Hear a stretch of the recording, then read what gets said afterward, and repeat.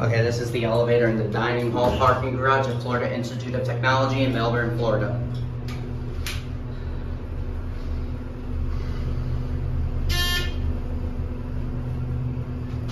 Here are two, get a cabin very skeleton fixtures passing 3,500 pounds.